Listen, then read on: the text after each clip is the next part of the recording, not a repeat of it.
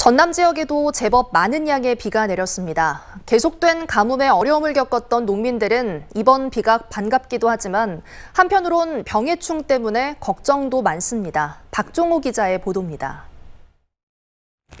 오랜만에 전남에 많은 비가 내렸습니다. 가뭄에 메말랐던 논에는 물이 가득 찼고 걱정으로 가득했던 농민들의 마음도 비에 씻겨 내려갔습니다. 남부지방에 지금 현재 가뭄이 많이 들어서 농민들이 걱정이 많았는데요. 지금 이 비도 다행이라고 생각을 합니다. 40% 초반에 머물던 전남 지역 저수율은 이번 비에 48.6%까지 올랐습니다.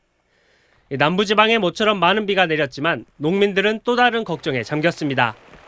참깨의 경우 물에 빠지게 되면 상품 가치가 떨어지면서 한 해 농사를 망치게 됩니다. 또 폭우에 논이 물에 잠길 경우 벼 도열병 등이 발생할 우려도 큽니다. 양이 그렇게 많이 나오는 지금 추수 시기가 임박이 지나서 대롱 이 저 추수 시기 직전에 수침을 해버리면 전부 백수 백수 현상이 일어나거든요. 미리 저 도랑을 정비 안 하면 하우스 안에 물이 범람하기 때문에 그걸 미리 예방하기 위해서 장마철에는 고추 탄저병이나 벼 흰 마름병 등이 올 수 있습니다.